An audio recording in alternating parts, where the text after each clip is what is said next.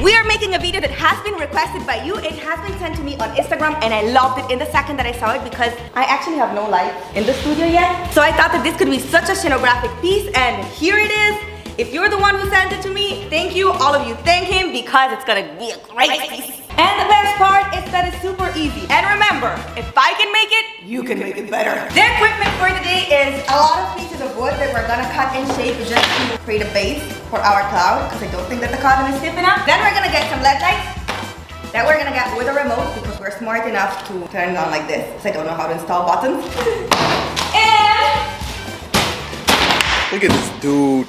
way too much cotton.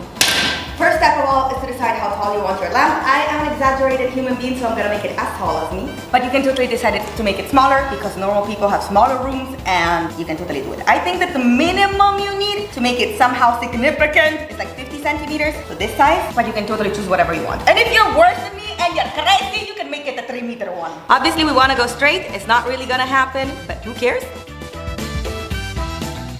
Once we created our perfect base, we have to create height and width. It's not so important to be precise, but we want it to be more or less the same size for all of them. So we're gonna make one, and after that, we're just gonna place it on top of the wood many times to make them all identical.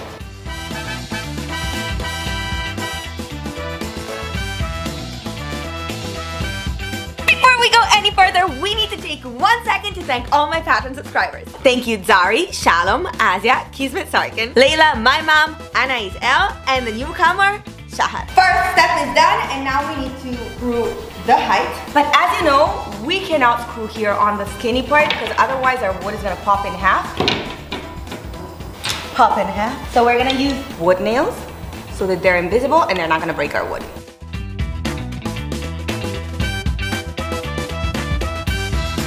Yes! This is pretty dope.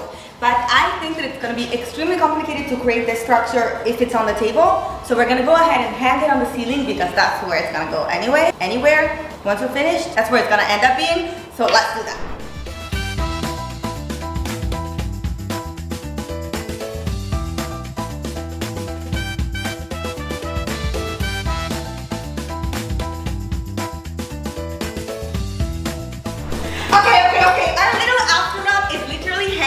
Here. We don't need the table. We don't need anything anymore. But if I learned one lesson, it's that we should never trust what we're doing. So we're gonna add some more rope to be sure that this thing is staying in place. We don't wanna break it after we have all the construction on.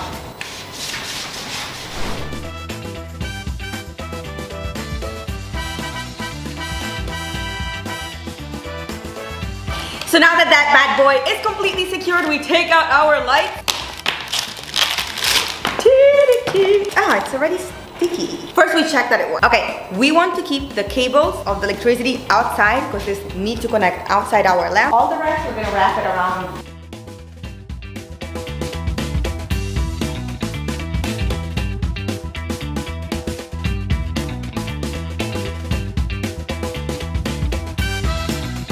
I have no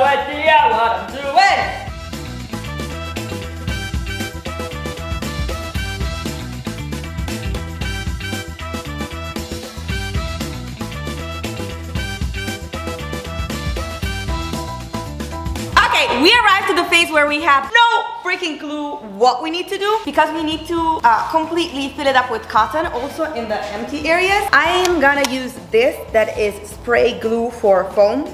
So I suppose it's gonna use and work in the same way, but let's see.